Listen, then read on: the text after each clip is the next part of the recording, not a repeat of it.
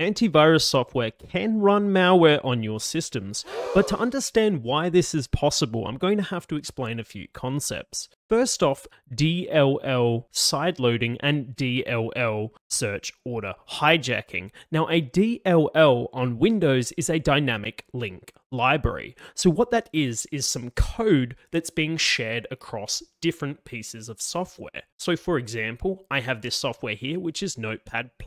However, it has a malicious DLL next to it, which is this debug help.dll.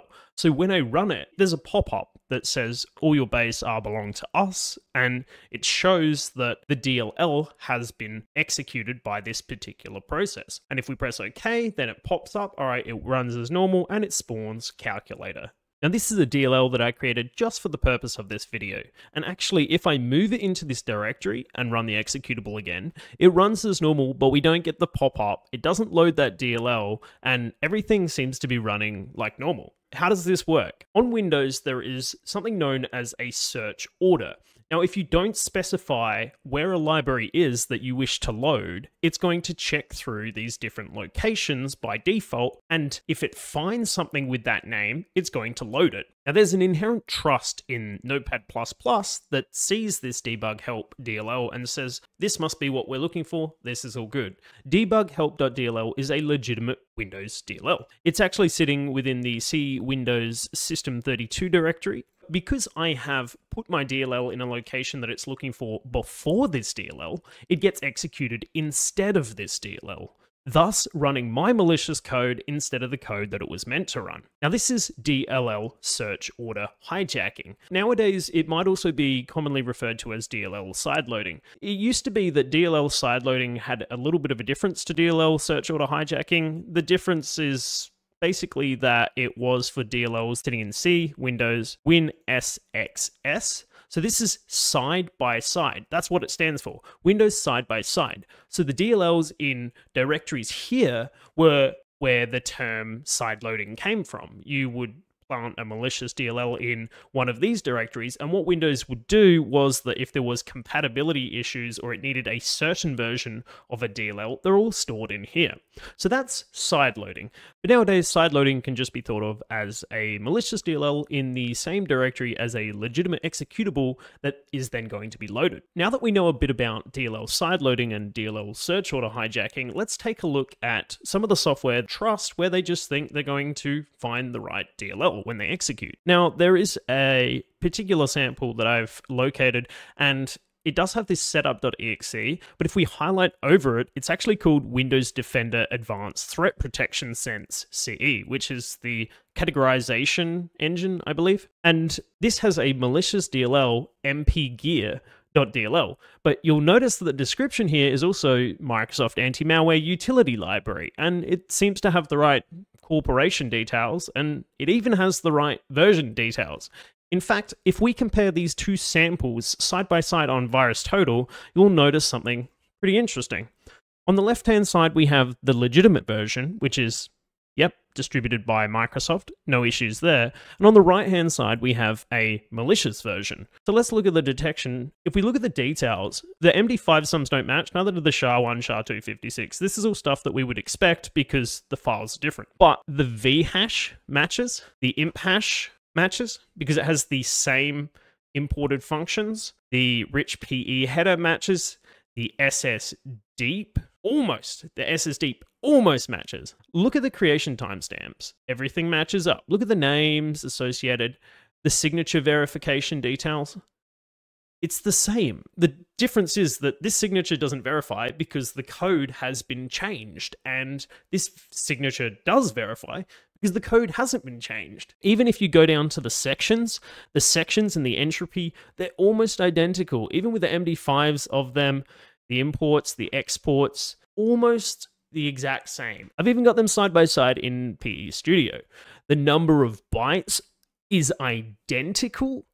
The description's identical, file version, all of this because they've taken the legitimate DLL and just chopped the code in it. Let's go ahead and take a look at this and see how it works and see what it is. So I've gone ahead and opened up both the legitimate and the malicious DLL. And on the right hand side, the malicious one, you can see that it actually takes four parameters, whereas on the left hand side, the legitimate one only takes three parameters.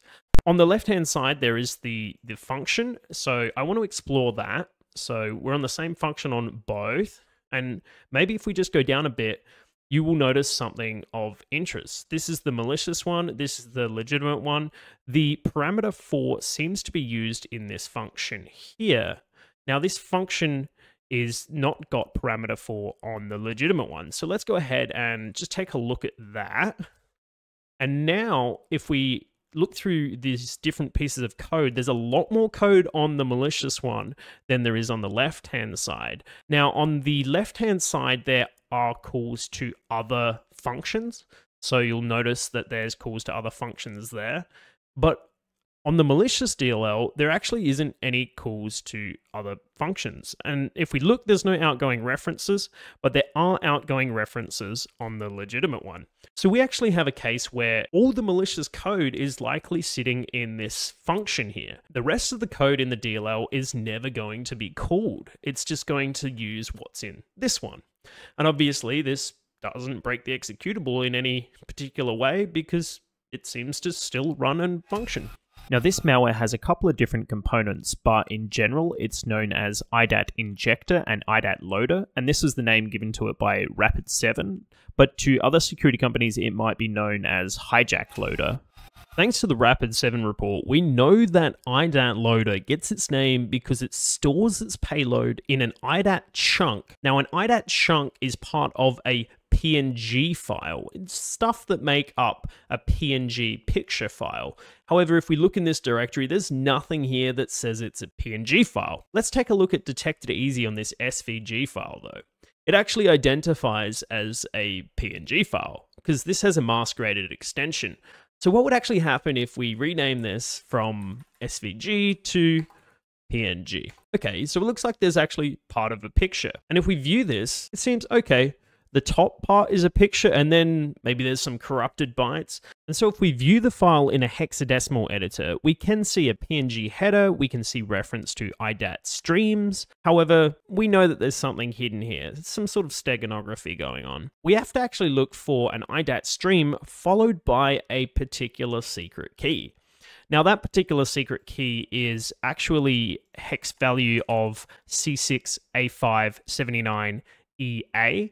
And so if we search for this, this is actually following an IDAT stream. So that's actually what we needed. The four bytes following that would be C7, 8E13EF are actually going to be our key to decrypt this payload. So if we open this up in CyberChef, this is an XOR key that's going to be used. We're just going to throw that in here so we don't forget. And we're going to get rid of the spaces because we don't need them. So let's just disable this and go back to our hex editor. So everything following though that key all the way down to the bottom, let's take the lock, is going to have this operation where it does a bitwise exclusive or operation on these bytes and transforms them. Once we put that key in and have it from hex first, that we begin to see some characters that are kind of strings that make sense. So let's actually remove our null bytes. We can see stuff like windir syswow64 cmd.exe by the looks of things. There does seem to be this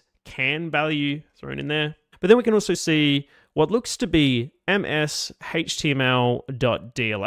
as well. And so if I saw something like this and I didn't have any idea of what it was doing, I would lean towards perhaps it's doing some sort of injection, just simply because we see mention of syswow64 and the cmd.exe executable.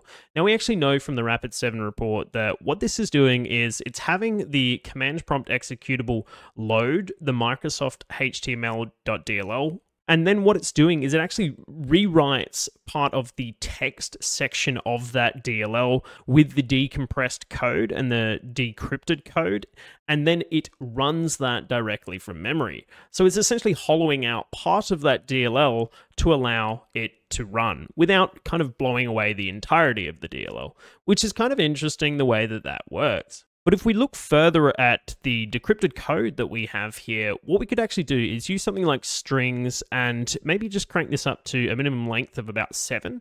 And we can begin to see some more strings that might be of interest. So for example, we can see this program cannot be run in DOS mode. So there's likely actually a portable executable within the decrypted data that is then going to be loaded into memory. And the fact that this is using combinations of steganography, DLL search order hijacking, encryption, in order to remain undetected is quite interesting. Hi everyone, it's Jai here from the future. So at this point in time, I realized that I go really into the weeds with reverse engineering this malware, and what I'm going to do is save that for next week's video. So if you've got any thoughts, feelings, queries, anything else, leave it in the comments section below, and I will catch you next time.